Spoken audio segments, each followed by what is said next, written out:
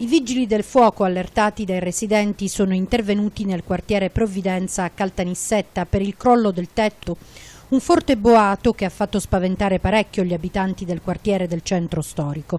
Fortunatamente non ci sono stati feriti o danni a cose, ma la situazione nel quartiere sta diventando sempre di più allarmante, così come ha detto padre Lovetere al nostro microfono la scorsa settimana.